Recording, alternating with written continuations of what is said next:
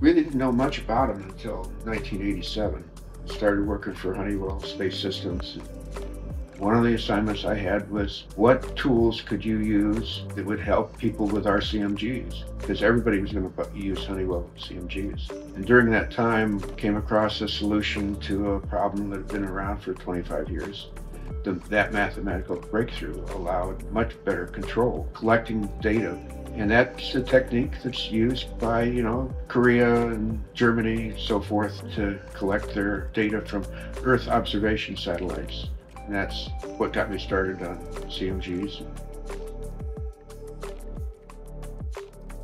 And then there is, you know, this opportunity to use them on a vehicle that needed the ability to balance really on a knife edge. You have these wheels and there's an unstable equilibrium point that you want to stay on and the CMGs were just the perfect thing to provide the torque to keep the vehicle stable. You had all these different aspects of how fast can you go around a corner, you know, what happens if you lose traction, can you recover, and all those problems are very interesting. Over here is the program I wrote for doing the lit simulations. These are integration routines that do different kinds of integration. It allows us to run our electronics at any rate we want to with any amount of computation time.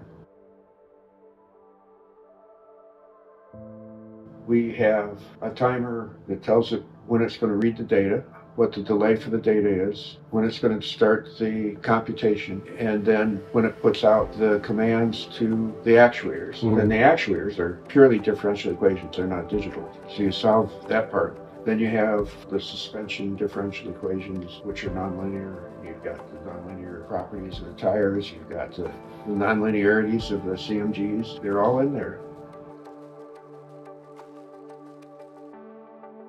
Making something this complex, balance, being able to go and do a jump and slide and recover, you'd never do that on a motorcycle. If you slide that front wheel coming off a jump, you're down. This does stuff that no other vehicle can do. That's what's interesting about it. Most engineers can't follow what I do. There's a lot of books on control theory up there.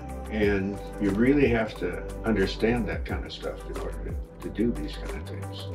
I was at a Mark 50 meeting.